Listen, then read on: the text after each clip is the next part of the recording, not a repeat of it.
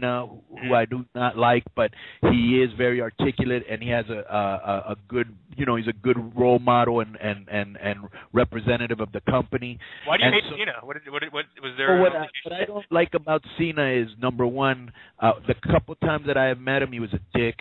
Uh, number two, uh, I just get sick of them always uh, shoving down our throat. And I had a big discussion with Gregory Sugar Shane, good friend of mine, Helms, on this.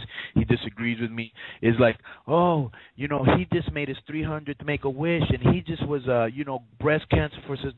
There's a lot of guys, and I'll start with Rey Mysterio, who does the make a wish shit. Yeah, a lot of people. But it, it's they- Cena's gimmick now. It's like they act like Cena's the only one.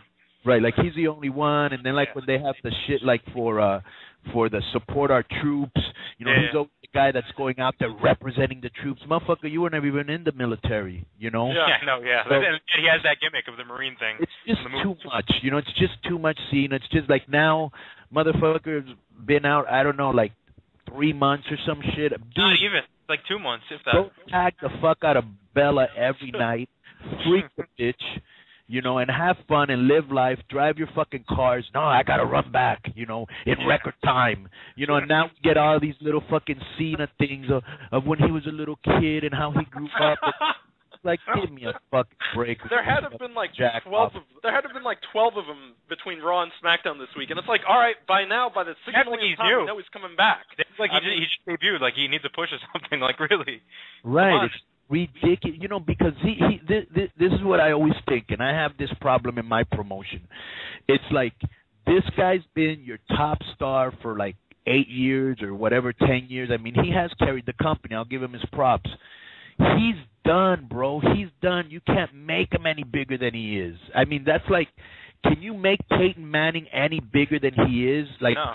wh- where do you guys live? What city are you guys in? I'm Atlanta. I'm in the middle of nowhere in Pennsylvania. I'm originally from New York though.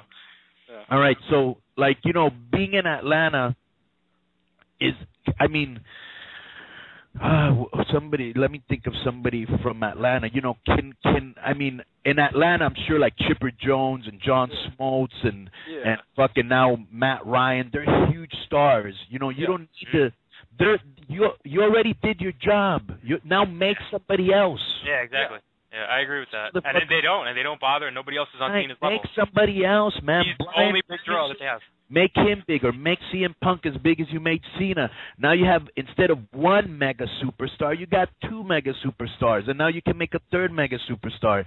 There's, you know, you know what I'm saying. He doesn't need the belt. He doesn't need always to be pushed. He doesn't always have to be on every. It's like, I just think I'm just like, uh you know, I'll give you an example. It's like, and I'm sure this has happened to you. Have you ever seen like a show or an artist or a singer or a rapper or whatever that when they Yeah. first started you were with them and you were like, oh, this guy's gonna be good, and then Yeah. after a while you're like, oh my god, not Yeah, this. so many, so many, so many. You've explained Johnny Landon and Eminem recently. That, I, that's no, no, there's so many, there's so many Yeah. rappers and and stuff like that, mu- musicians in general that I, I'm into in the beginning, and then it's just by the end. And I was like that with Cena when I was a teenager. Cena was my favorite, and then by like '06, it was just like all downhill, and he just completely became lame, and he's been, had the same gimmick for the past eight years or whatever. Yeah. Crazy. Let's face it, the only reason he's coming back tonight is because they they made the Cena shirt and they're trying to sell these, you know, Rise Above Cancer shirts, and so they need to have him wearing it on TV so that they could sell more of it. I think that's their logic because it, it it has no place on the card. in my T-shirt opinion. sales, I guess. Yeah. No, worse would be if he came back and won it. Does he really need it? I think he will win because I think like they're gonna mm-hmm. have him break Flair's record at this rate. He's already like a 15-time champion.